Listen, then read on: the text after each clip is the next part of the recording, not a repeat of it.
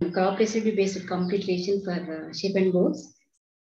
Uh, usually because in intensive uh, feeding system, the farmer will have control over the feeding system. And especially there is a flexibility in the feeding system. So that means if you want to include any new feed resources into the feeding system, then you can gradually introduce. So then when come to the uh, three subsystems of uh, intensive feeding system, usually uh, one type of the old method is cafeteria mode.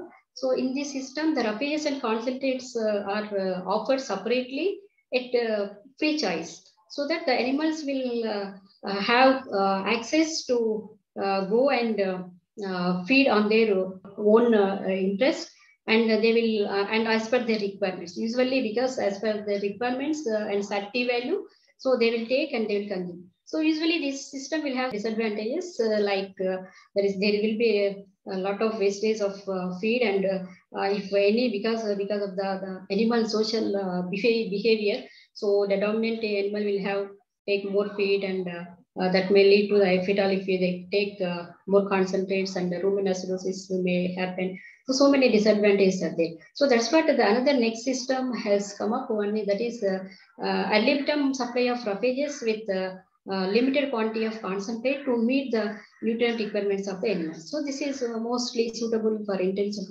uh, type of feeding system. Then the last, the third system is uh, nothing but uh, and concentrates are fed together. So combinedly they will offer uh, to the animals. So that is nothing but the complete feed system. So it can uh, be synonymous with the other terms like complete diet or complete ration or total mixed ration. So the main objective is of this type of feeding system is to deliver the nutrients or supply of the nutrients uh, uh, like energy and uh, protein at the same pace.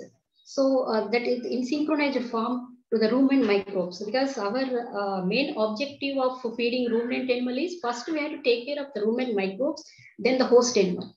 So first the ecosystem should be maintained. So the entire environment should be stabilized with the availability of all the nutrients at same pace, at same race, at the same time uh, should be available. Then only the rumen microbiota will uh, be digesting the uh, whatever the uh, feed you offer to the animals. So that is the main uh, objective of complete ration. Uh, usually we'll be fed with all these sustainable ingredients like non-legume green fodder or cereal green fodder and legume green fodder and concentrate ingredients, mineral mixture, vitamin mixture, uh, then uh, little extent uh, uh, the dry roughages, either in the form of hay or uh, crop residues. According to the IGFRI uh, 2050 vision, vision 2050, so there is a net deficit of uh, 63.5% green fodder and uh, 23.6% dry fodder and uh, 64% of that is concentrate ingredients. So because to meet these requirements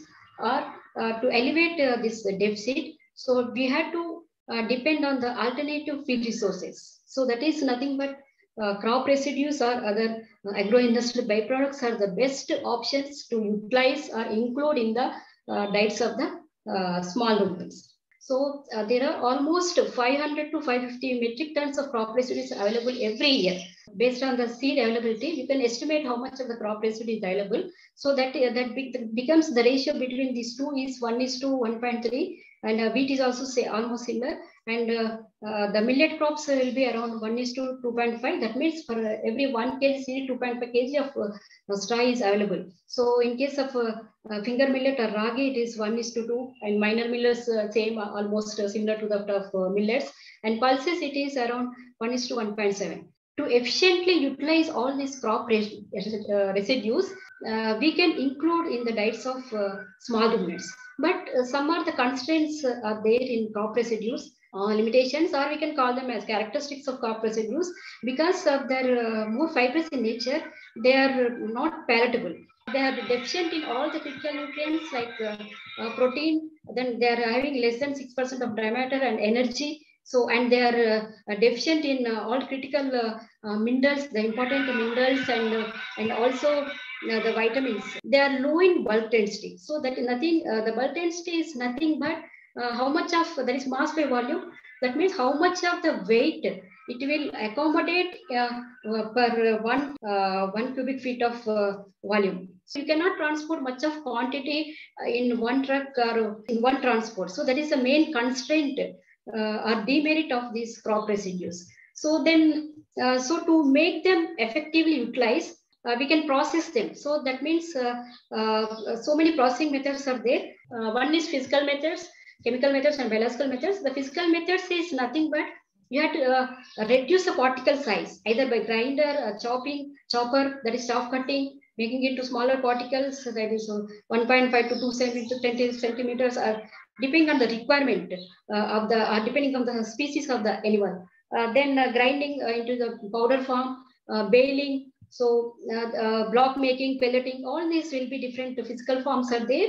And this the main objective of uh, this physical processing is to reduce the particle size so that the surface area is increased and next followed by chemical methods is nothing but apply of uh, uh, chemicals like uh, alkalis, that is even sodium hydroxide, calcium hydroxide, but these are not feasible at field conditions. So then, then they developed urea ammoniation technique. So that is also not that much feasible because the, if you add urea, it may it will also break the lignocellulose bonds and as well as it will add nitrogen to the uh, crop residue. So that in both ways it uh, the it will be enriched.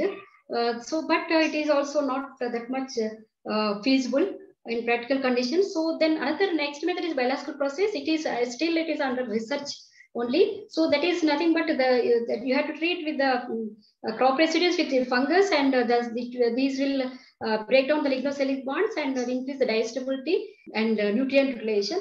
But it is not that much cost effective. So it is still under research only. So mm, because of all these reasons, the feeding of small ruminants is very uh, uh, important and uh, it is very promising to feed or include crop, crop residues by uh, using these all these processing methods.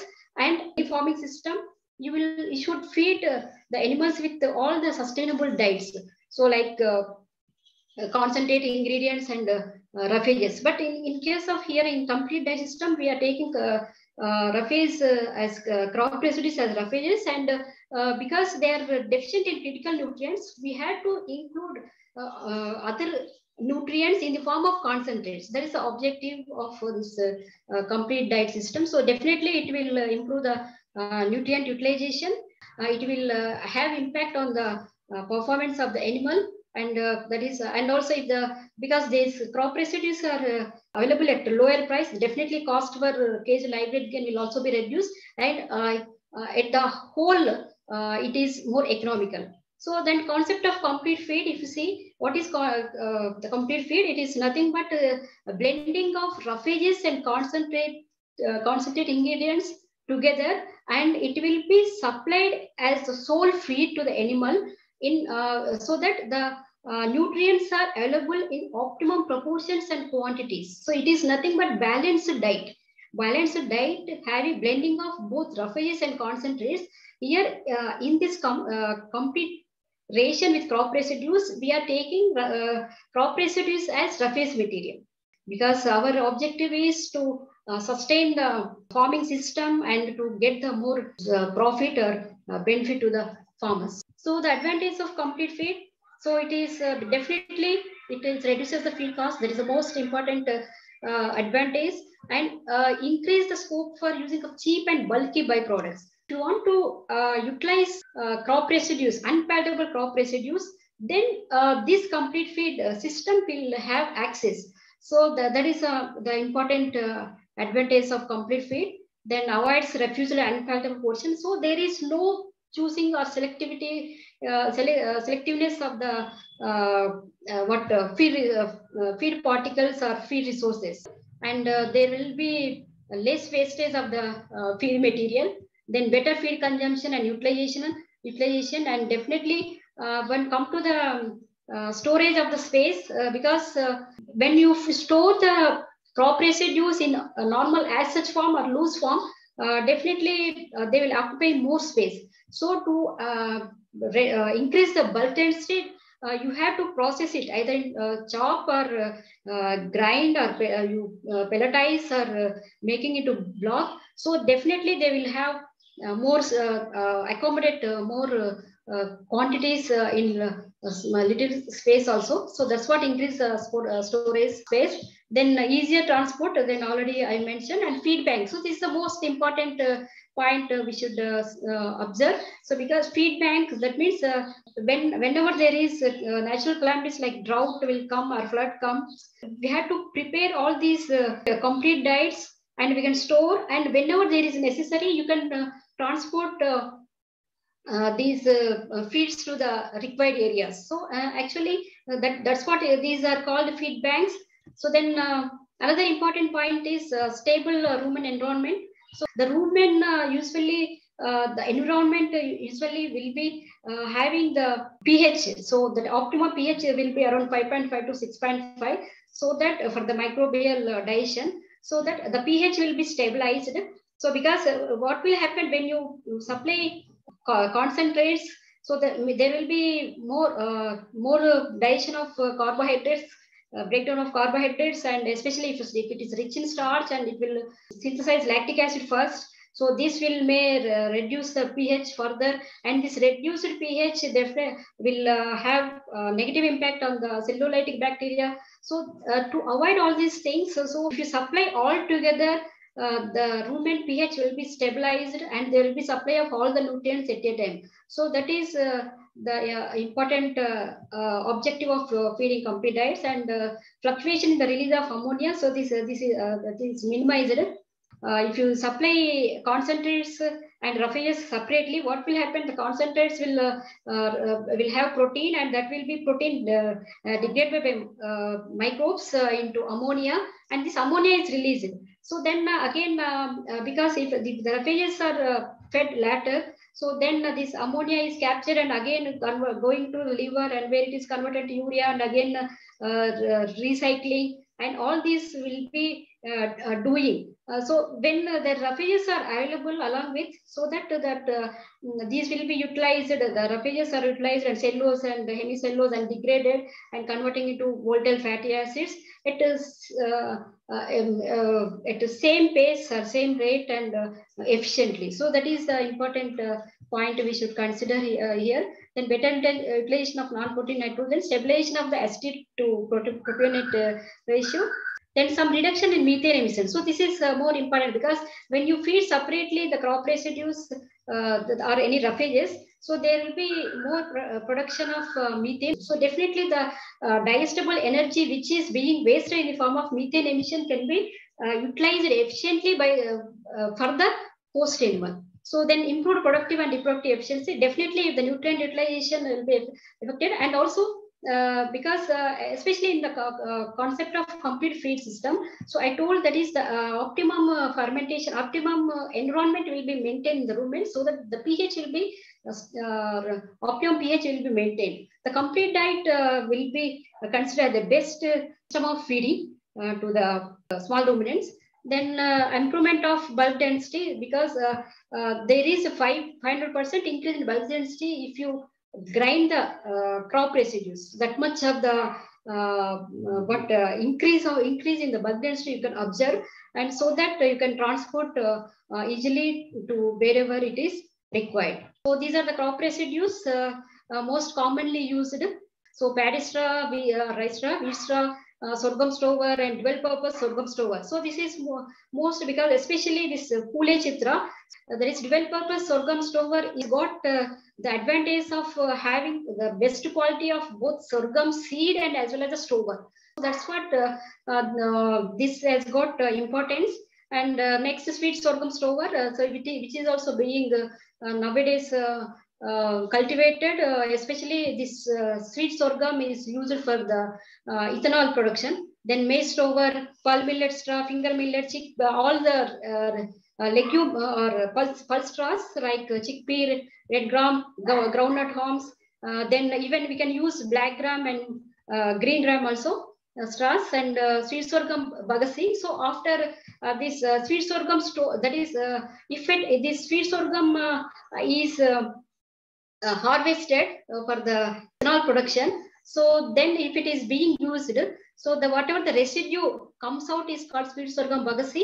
So that can also be utilized and sugarcane bagasse is uh, uh, we, are very aware of the sugarcane bagasse, then sunflower straw, sunflower heads, so maize cobs. So these these are sunflower heads after uh, the uh, seed removal, whatever the heads available, those can also be included in the diets and maize cobs. So this because after uh, that is uh, threshing of these uh, seeds, then uh, these maize crops can also be utilized. So if you see among all these, uh, these uh, pulse will have more of lignin content. So this is one thing we, we should remember. then if you see the percent of CP, so these red star has more, it will be, it ranges from 7 to 9% uh, Uh, or sometimes it may be go up to even 10%. The, then groundnut haulms, uh, this has got uh, uh high uh, protein content when compared to other crop residues. Uh, these are the inclusion levels. Uh, so uh, sorghum stover can be included up to 60% in as well as growing animals and for maintenance purpose and for small leaders like lactating animals. But in case of sheep and goat, so you can include even in growing animals up to 60% also. If you include 60%, that uh, could be more economical.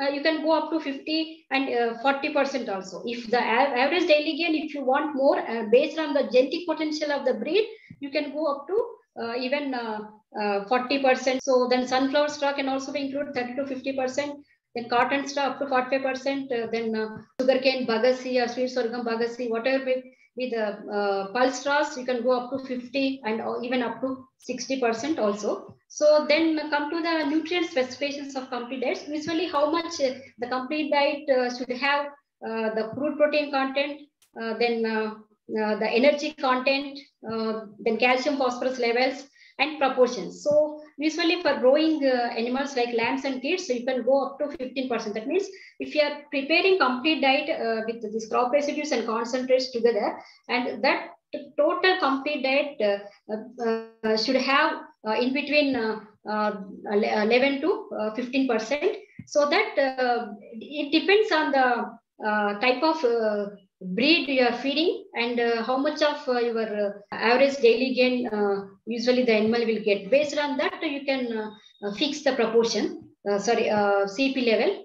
Then maintenance, it will be, it depends, so even 8 to 9% is also sufficient, up to 10, 11. Uh, no need to go for about uh, up to 13.13%. Uh, then for lactating animals, even go up to 15 to 16%.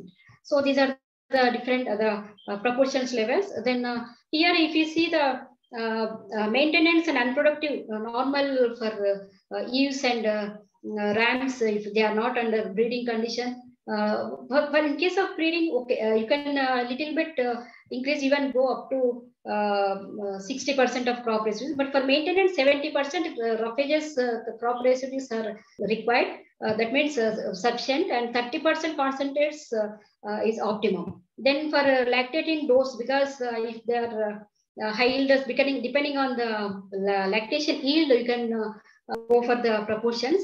So for uh, 2 kg milk yield producing uh, uh, dose, then you can go for 50 is to 50 or 40 is to 60. Then growing lambs, you can go 50 is to 50 is actually optimum. then you can go up to 40 if the if you want more ADG and 60 is to 40 also. 60 roughage and concentrates uh, uh, 40 uh, usually we tried with uh, so many crop residues. So that is more economical. So uh, with a little bit of uh, uh, lower uh, ADG, that with less uh, 10, 10 grams like the difference, but it is it was more economical. So then these are the different diet formulations with those different crop residues. If you take uh, maize stover, uh, it will be, uh, if, you, if you want to include 50% uh, crop uh, maize stover, then the, the, rest of the things are concentrate ingredients. So like maize 7.5 uh, kgs, that is parts, it is for 100 kgs. So uh, groundnut cake 9 parts, DORB, DL rice bran 25 parts. If molasses is available, you can include or otherwise uh, you can compensate or replace with the maize. So then uh, mineral mixture uh, around 0.2 kg and salt 0.4 kg and vitamin mixer. Here, because in case of when, when you are feeding, following intensive feeding system, uh, especially with crop residues, you have to take care of the this vitamin mixer. Having vitamin A and E and D, okay, anyway, any in intensive feeding system, if, uh, you if the animals are not allowed, uh, paddock is not uh, available, then you can go for vitamin D. But vitamin A and D are very, very essential because uh, uh, they are not uh, feeding with the uh, green forest. So you have to take care of uh, uh, around for 100 kgs, the, the what 10 grams of vitamin mixture with uh, all the other vitamins with vitamin A and E. So this E may, maybe will be the requirement will be around 975 international units and uh, then uh, it will be the vitamin A will be around uh, 7.5 lakh international units. So that you have to take care of. Uh, that is very important, crucial point, uh, which can, otherwise the entire system, because why A and E are the antioxidant vitamins, if they're deficient, the entire metabolism gets affected. So that thing we have to take care of. So then uh, for these are the examples for uh, uh, lactating animals and growing lambs and kids. the best examples we tried. So then we'll come to the processing of complete feeds because when we are blending the crop residues with concentrate ingredients, I directly you can different forms are you can offer in different forms. So one is uh, directly the conventional system of feeding. That is, you have to chop the uh, crop residue. Then uh, if you want to soak, soak it. And then uh, while feeding, you mix with concentrate and offer. But uh, what will happen? The the uh, definitely the, the intake of the feed will be comparatively lesser when you grind or uh, make into pellets or blocks. So that's what if it is it is better to grind grind the crop residues and concentrate ingredients into powder form and mix uh, then you offer to the animal that will be always uh, that will be more uh, beneficial. Then another the important another uh, processing method is uh, making into pellet form. Expanded extrusion pelleting uh, can be used more efficiently for the utilization of crop residues. Then another in the important processing method is densification or block making. So complete feed block is the the most most important because it is usually the bulk density is improved a lot in case of block making. So that is more economical when compared to pellets and uh, mash form, especially uh, for the transport purpose. So then the preparation of mash, uh, usually uh, it will be taken in uh, batches wise. One batch means 100 kgs. So usually you need hammer mill with 8 mm sieve bucket elevator and horizontal mixer. After uh, grinding uh, the crop residues and concentrates and these will be mixed in the uh, mixer for 10 minutes. So then your end product will come that will be stored. Meanwhile, uh, during uh, mixing process, you can add uh, molasses if it is available and the other mineral mixtures and vitamin or any feed additives you can add to the mixer directly. You can use even chaff, chaff cutter and pulverizer also for uh, grinding and making into powder, uh, then uh, you can uh, mix. But for uh, mixer should be there. Otherwise, what will happen? Uh, if mixing is not proper, so the nutrients availability will not be at same pace in the rumen. So because if they are not mixed, uh, especially if example, if they non non-protein nitrogen is available more to, in the rumen, uh, uh, with, uh, with less supply of energy, then ammonia level may be raised. So all these will definitely will have effect on the nutrient utilization. So this is the chopper come grinder. it can be used to grind the crop residues as well as the concentrate ingredients. That's what uh, it first it will reduce the particle, especially for crop residues. Reduce uh, into small particles. Then it will grind into powder, uh, that is um, very fine uh, particles. So this is a mixer. Then chopper come grinder and uh, mixer in combination also will get. So then uh, this is the fabricated one uh, with the chopper grinder come mixer. Then come to the pelleting uh, process. it, it includes expander and extrusion methods. and an expander is nothing but the difference between the block making and here expander extrusion is here we apply the moisture so that uh, in the presence of uh, uh, moisture, temperature, high pressure, So first, what will happen? The entire feed will be expanded, and under pressure, if it is passed through the, the constriction, so it will be the the feed will be coming out uh, in the form of pellets. So usually 16 mm uh, diameter containing uh, pellets are recommended for sheep and goat.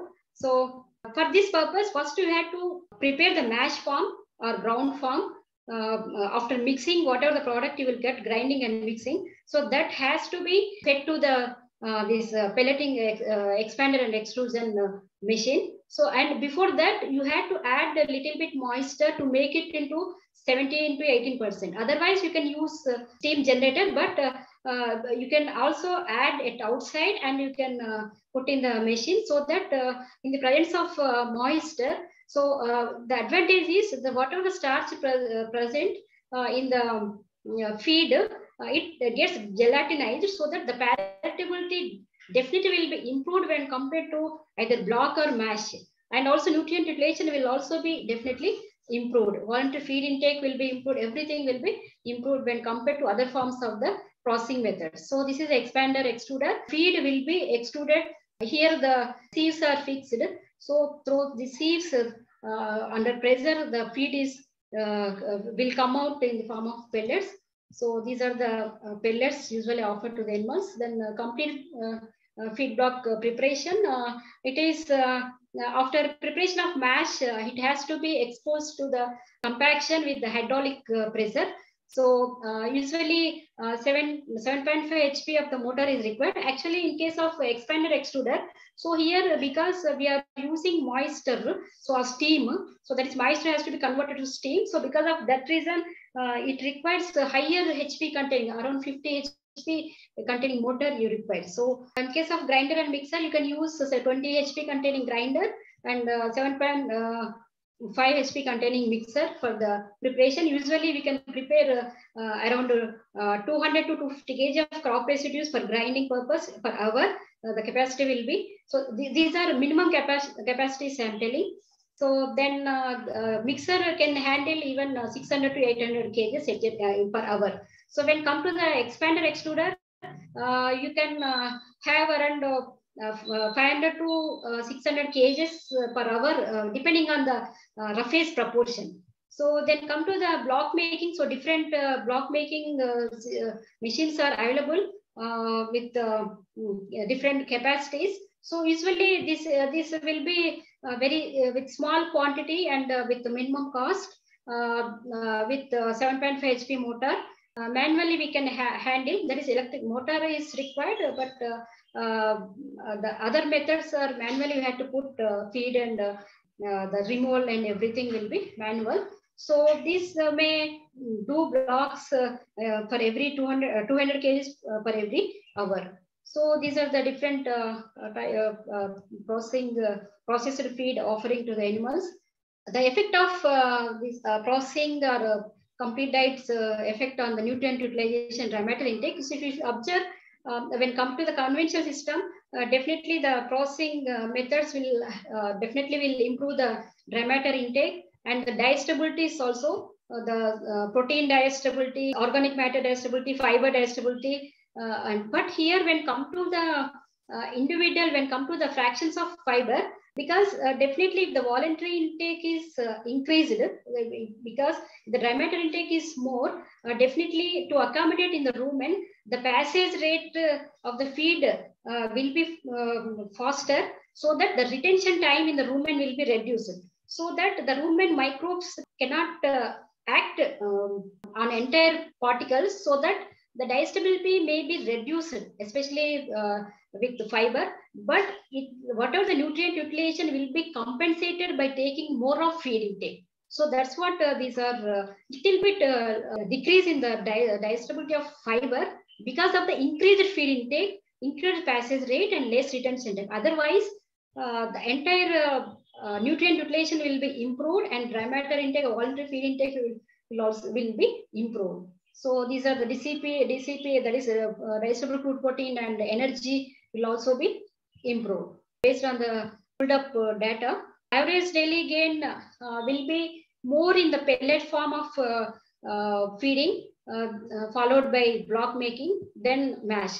So here, because uh, the palatability is more and the even nutrient utilization will also be more because of the gelatinization of the starch. Here, what will happen in the pellet form? So uh, the resistant, uh, even some starch is also resistant to uh, to the microbial digestion. So that starch may be released in case of pelletization.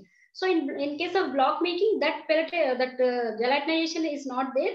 Uh, but even though it is beneficial then to the mash or conventional feeding system, feed efficiency ratio so usually because if in case of higher, uh, that is high genetic potential rate containing breeds, it will be even go up to 9 kgs and 8 kgs also. So that means for 1 kg of production, production of meat, that is grow, uh, live body weight gain. So you require around uh, 10 kgs of feed. Uh, so the cost, if you take this, this was connect uh, based on the recent studies. So uh, there, there was an improvement in Uh, around uh, uh, 14% uh, uh, improvement over mash feeding. And when you compare the pellet feeding with mash feeding, and there, there was 10% improvement over in case of block making. That means pelletization definitely will have 10% more cost benefit ratio when compared to the other two forms. When block making will have definitely uh, cost benefit ratio over mash form and uh, conventional form of the feed. So then cost, if you see the cost economics, uh, cost, uh, cost of the feed uh, uh, will be around, because they based on the type of crop residue. So usually it ranges from even 10 rupees per kg to even up to 15 k 15 rupees depending on the crop residue use even sometimes it may be decreased to even even 9 rupees also so based on the availability locally availability of the crop residue so then uh, when come to the processing, so definitely because here the, the steam generation is required, the uh, horsepower of motor is more. So definitely cost is more in case of pelletization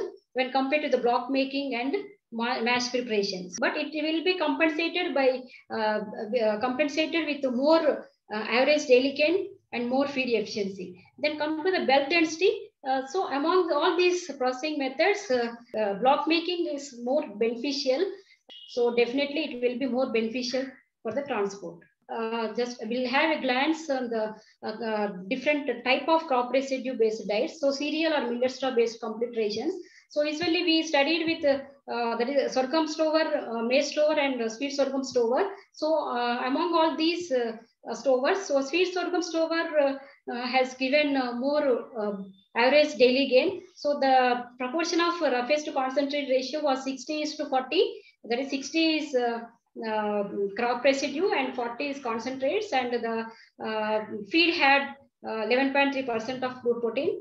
Uh, then come to the other crop residues like sorghum straw, sweet sorghum, maize straw and control uh, that is with only grazing system if you compare. So all these have got uh, more beneficial, that is more average daily gain when compared to the normal grazing system. So the rough-phase rough constant proportion was 50 to 50 and CP percent of the uh, feed was 12.5%. So here if you see, the uh, these are the low protein, high energy diets, low protein, low energy, high protein, high energy, and high protein, low energy. But among all these, low protein, high energy diet has given good result or good ADG around 120 grams so uh, uh, that means even if you if you want to increase more of protein also, it will not be beneficial. So if you see the diet composition, so around 57% uh, is of crop residue in case of low protein, high uh, energy diet. And if you see the low protein, high energy diet, the protein content is 12, around 13%. The energy is around 9 megajoules per kg of the diet. So that's what. So even if you reduce, uh, if you optimum provide optimum protein level and with little, little amount of energy, so you will have uh, better uh, ADG average daily gain. When come to the one by one, the sorghum stover can be included up to 60% and maize stover, you can uh, go up to 50 to 60% for optimum growth and uh, better feed efficiency. Then paddy straw, uh, uh, uh, if you supply uh, either in mash form or expander and block, so definitely pelleted diet has got higher growth rate in terms of growth rate and nutrient utilization. If you include to 50 is to 50 ratio.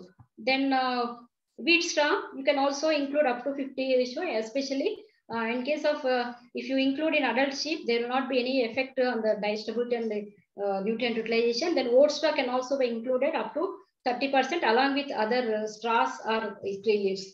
Then finger millet straw, you can include up to 50% because uh, maize stover can also be included 50%. You can uh, even replace the maize stover with finger millet straw if available. Higher ADG and nutrient utilization, it's in the Deccani lambs with brown paddy straw. So that, uh, so uh, in case of, that is depending on the type of breed, you can uh, uh, decide the, you can also include uh, sorghum straw and soybean straw and such type of crop residues.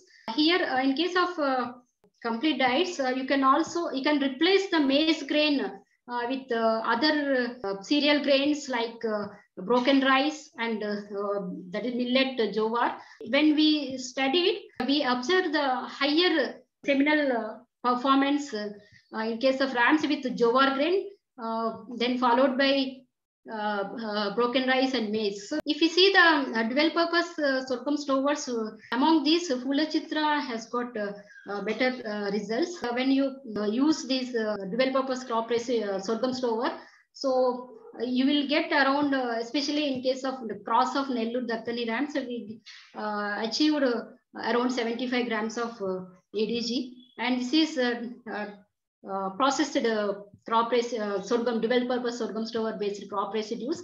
This is chopped one, uh, mash and pellet and uh, block. Again, the pellet has, uh, has given better results uh, around reaching 90 grams, 85 to 90 grams of ADG. We can also include uh, other unconventional protein sources along with the in the complete diets. So we replaced the groundnut cake with guar meal and we studied the uh, Uh, uh, average uh, that is productive uh, growth performance in Nellore lands. This is replacement of groundnut cake with guar meal. So uh, you can replace a little extent 50% with the guar meal. then next is we studied even same diets on reproductive uh, Deccani eaves. Uh, we achieved uh, good results uh, with on reproduction of uh, that is reproductive performance after uh, lambing. So the estrus response and net return rate and uh, conception rate, lambing rate, all uh, uh, were good at uh, GNC. Then followed by replacement of 50% groundnut cake with uh, guar meal. Then pulse straw based complete diets so complete field chickpea straw. So chickpea straw usually it occupies around 65, uh, India, usually India occupies around 68% of global production. And the uh, Madhya Pradesh, Rajasthan, Maharashtra, UP, Karnataka, uh, then the AP and Telangana contribute around 91% of the production. So if you see among all the uh, pulse straws, so the uh, chickpea straw occupies uh, more proportion, major proportion in the cropping pattern. So uh, one example, so we, we replaced the sorghum stover with 50% uh, with chickpea straw and 100% uh, with chickpea straw. These were connected in Deccani lands. So the average daily gain was improved uh, when come to the event. Th that means we can replace sorghum stover with chickpea straw. Uh, then uh, red gram straw, that is arahar straw. So with even with the inclusion of especially Arahar straw with uh, 35 to 50 percent. Uh, these are the different diets: 35 to 50 percent pellet and mash form. So the ADG was around uh, 94 to 95 grams. That means uh, we can uh, include uh, even up to 50 percent in the diets of the the lamb circuits. So 50% level you can even process into pellets. Then come to the groundnut haulms. So it will have more CP then uh, because of that reason, you can include up to 60% in the complete rations. Groundnut haulms and red gram busa in combination also you can feed to the goats and uh, lambs efficiently. In case of uh, complete pellets, uh, especially in case of uh, uh, goats, that is for bucklings. So you can, if you can maintain around 15, 15 percent of protein level and you can include crop residues in the diets. Then uh, along with uh, crop residues in complete diets, you can also include uh, tree leaves. So this is what the important, uh, uh, because when come to the tree leaves, these are abundantly available. And it, this, these tree leaves can also act as protein supplements. Then uh, and uh, it definitely these will rich in minerals and vitamins so that it, they will have positive impact on the rumen microbial growth and digestion then one more thing important point we should consider here is uh, tree leaves will be having the tannins especially condensed tannins uh, uh, will be acting uh, as anti-parasitic and they will reduce the worm burden. So that advantage also they have got. So in case of fallen tree leaves especially in forest areas if you have uh, got fallen tree leaves, those can be dried and uh, can be included in the 20% of 20% uh, in the complete diets. Then Leucaena, that is uh, subabul leaves, can be included up to 20%. Uh, and you can replace uh, even other protein sources like mustard cake or groundnut cake, and you can prepare into block. That is, you can even you can process into blocks. So these are the different tree leaves you can include in the complete diets these are the different, the protein levels of uh, CP. If you see the moringa, moringa can also be included. So it will have highest CP uh, when compared to other uh, tree leaves. Then subabul, albizia, that is cerise, uh, and um, acacia. So all these will have rich in protein levels and gliricidia. So these can be included in the complete diets either in, in the form of mash or you can also preparing to pellets and blocks. Especially when come to the blocks, adhesiveness should be uh, there in the preparation of uh, block. For that purpose, definitely you should have uh, the molasses. Usually we tried with different adhesive ingredients uh, which can provide adhesiveness. So molasses has got better results. Then you can also use guar meal because it will have residual gum. And also you can use uh, condensed distillery solubles, but uh, with little quantity only you can add. So then uh, the other uh, tree leaves like neem, uh, you can add up to 30%. You can add any leaf mixture up to 30% in the uh, lamb rearing. And uh, in case of uh, Corriedale sheep, they tried with 40% rapeseed-based complete diet with uh, rations containing 40 and 50, that is with mixed tree leaves. Then neem, so you can neem leaves, you can add up to 40%. Babul parts, you can add up to 16.5%. Then uh, parts uh, can also be included in 33% in concentrated mixture. Then one, one more uh, thing is uh, prosopis. Uh, so this, uh, this will be, can be used up to 50% in the complete diets. So this is one with 20% subabul leaves with chickpea straw. These, these are the chickpea straw based complete diets with 20% subabul leaves. We tried with different levels. with up to 30% also we tried, but blocks were not prepared well. So 20% is optimum to include, uh, especially chickpea straw based. Uh, so these are the, the, is a composition, chickpea straw 60% and uh, uh, leaf meal uh, in case of uh, subabul 20% and albizia 20%. Even albizia blocks were also prepared. So then other crop residues, like you can also use cotton stalks up to 38, that is around 40% with uh, we can achieve around 95 grams of ADG. Then um, cotton stalks with 40%. Uh, so that uh, higher ADG uh, come again between the uh, lambs and kids, uh, the lambs recorded higher growth rate if you include 40% of cotton stalks. Then sunflower heads. So sunflower heads can also be included with and with pelleting also. So up to uh, even 50% sunflower heads you can include along with even sorghum straw also up to 60% crop residues you can include and uh, prepare the uh, diet. This is, so, is sorghum stover and with sweet sorghum bagasse in different forms. So the average uh, uh, day, daily gain was around 100 grams in pelletized uh, sweet sorghum bagasse based diets. So then maize crops you can include up to 50%, 40 to 50% in the TMR. Then mustard up to 60% you can include. Then come to the sugarcane bagasse. So this because uh, the sugarcane bagasse definitely will have more of uh, more fibrous and more more pores in nature.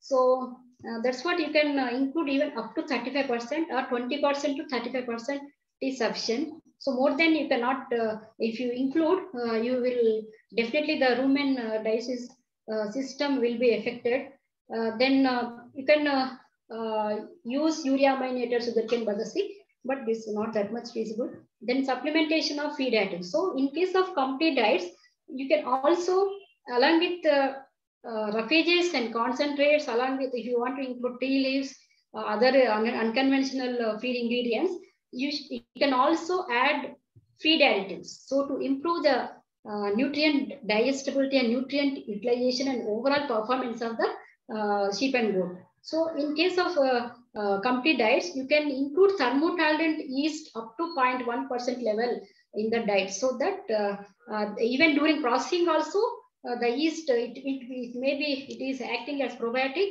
and it can improve the uh, digestibility uh, in the rumen. And uh, moreover, the yeast action is to stabilize the pH and uh, providing the sustainable environment to the rumen microbes. So in that way, definitely will be helpful uh, for the better nutrient utilization of complete diets. Then um, supplementation of sodium bicarbonate. So this is more important when uh, if because if, if you want more uh, average daily gain, so definitely you will you, you will uh, increase the um, concentrate proportion more in the complete diet. So even sometimes to achieve even up to 200 grams of ADG, you may go up to even 30% crop residue and 70% of concentrates. At the time, you should include the sodium bicarbonate. Definitely, it will uh, uh, it will act as neutralizing agent so that and it will uh, uh, the pH will be maintained in the rumen and it will reduce the uh, rumen acidosis because uh, if you uh, include more of concentrates, definitely the rumen acidosis and it, may lead to metabolic acidosis and it may lead to uh, in the animals. So to avoid and it may affect the even in case of adults use reproduction may also be affected. So to avoid such situations, so definitely if you include uh, sodium bicarbonate, so 20 grams to 1 kg of concentrate and because uh, uh, as per the mm, concentrates if you include and if, uh, along with crop residues if you prepare, uh, if you uh, mix it, so then it may Uh, reduce all these things and improve the digest, uh, fiber digestibility because if the acidosis, rumen acidosis uh, condition uh, prevails, definitely the fiber may uh, gets affected. So to uh, avoid such uh, situations, uh, always it is advisable to feed sodium bicarbonate. Then supplementation of ammonium chloride. This is this is this may also act as neutralizing agent.